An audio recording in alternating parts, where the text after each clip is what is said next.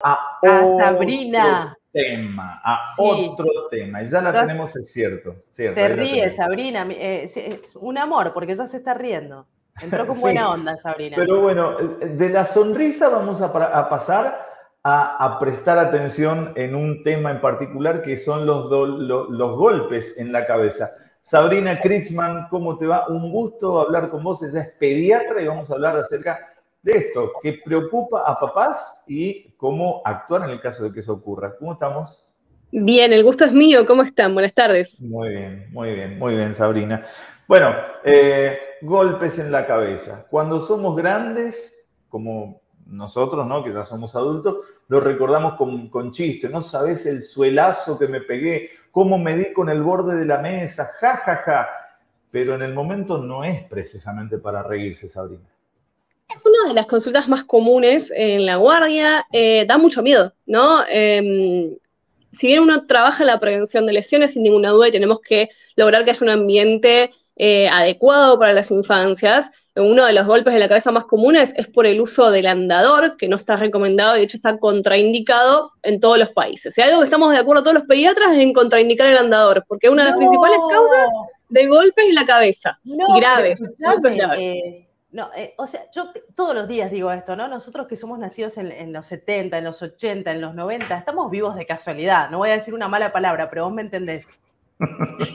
Sí, igual ya en esa época ya no estaban recomendados. Es un objeto que la verdad que, que, que, se siga vendiendo es muy particular. Pero bueno, tenemos muchos traumatismos de cráneo y graves eh, debido a esto. El nombre oficial del golpe de la cabeza es traumatismo de cráneo, que puede ser leve, puede ser moderado, puede ser grave. Generalmente es leve. Eh, hay un mito que dice que si te golpeas la frente puede ser más grave. Es un mito porque el frontal es el hueso más fuerte de toda la cabeza Em, pero bueno, lo importante cuando una infancia se golpea la cabeza es tener bien claras las pautas de alarma que implica que tengamos que ir a consultar a la guardia o que tal vez podamos eh, manejarlo en casa. ¿Cuáles son estas pautas de alarma? ¿Cuáles son? ¿Qué tenemos que tener en cuenta? ¿Cuántas son, Sabrina? ¿Cuántas son? ¿Cuántas y mira, seis, seis, siete, ponele. Fácil, todos ustedes lo saben.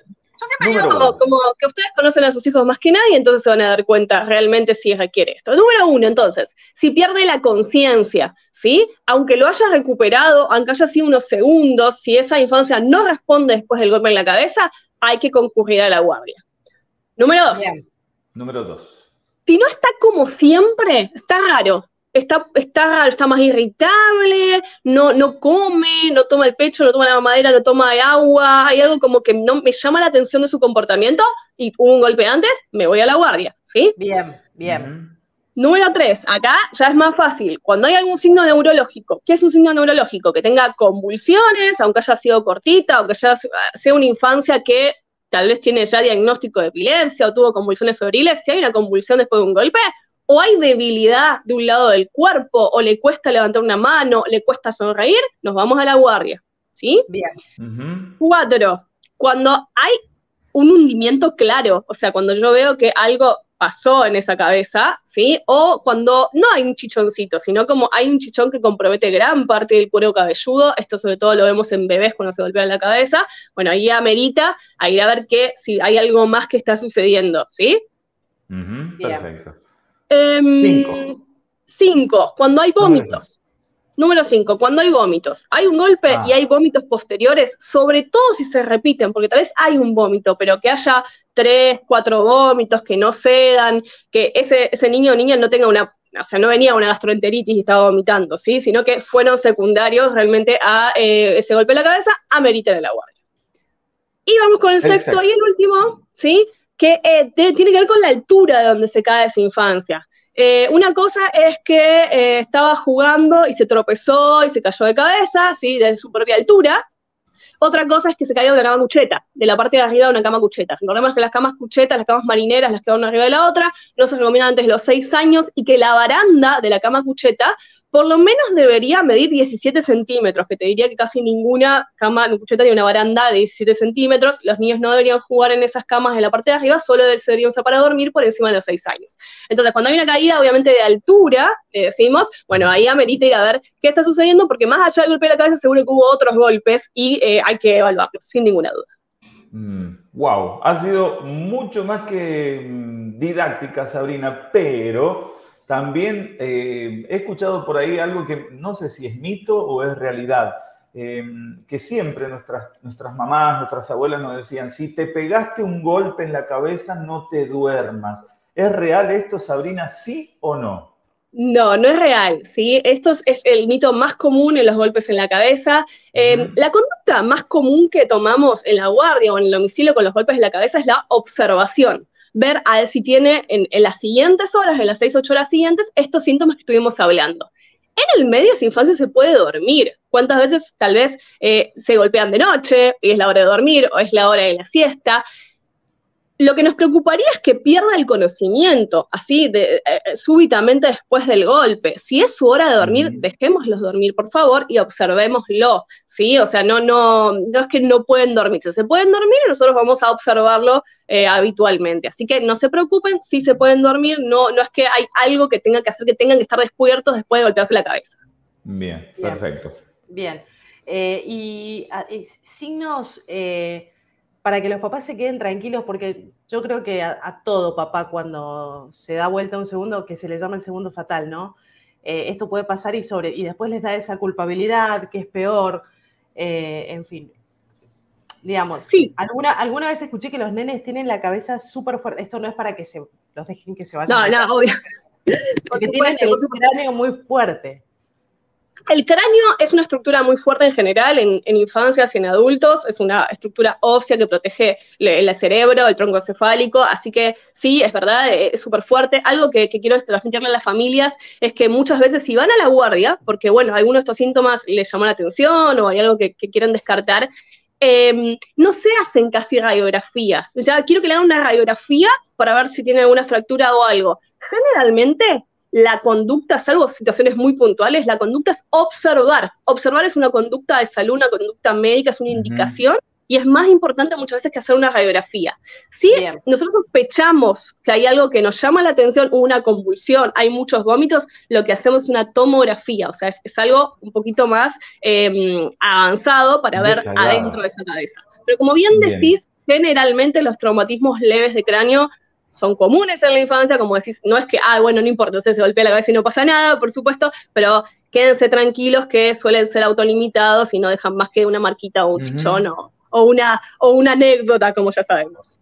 Sabrina, eh, una cosa son los golpes en niños, adolescentes, eh, grandes también, porque ninguno de nosotros está, libre de pegarse con un, el pico de una, la punta de una ventana, por ejemplo, pero vamos con los bebés porque se dice que los huesitos son elásticos, que como están en formación tal vez no les afecte tanto. También sabemos la famosa mollerita, cuando los huesos del, superiores del cráneo se están formando.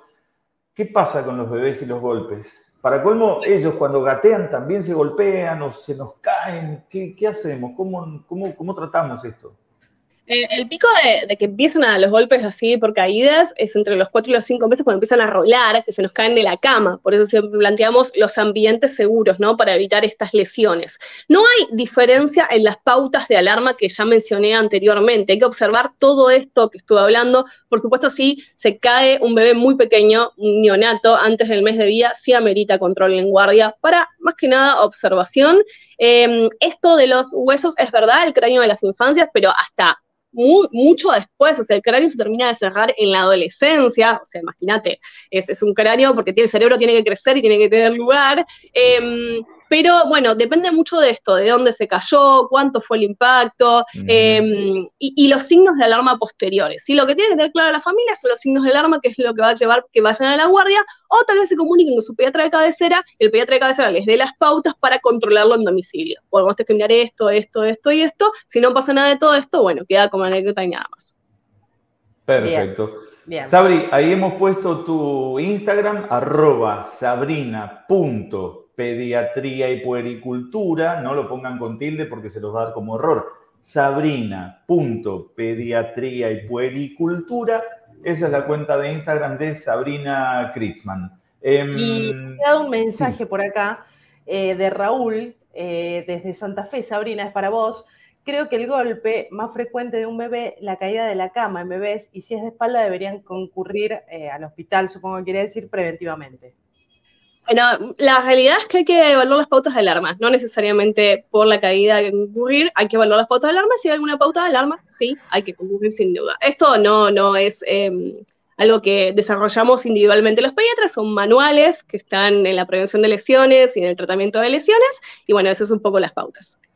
Bien. Sabrina, em, mucho más tranquilos a, afinar el ojo, ¿sí? la prevención más que nada algunos mitos que hemos derribado, que eso está muy bueno también, eh, y las respuestas de la gente que apenas vos dijiste esto, apenas lo explicaste, desde Rosario ya tenemos la respuesta. Ahí Vito lo acaba de poner, es Raúl Yurastante desde Rosario.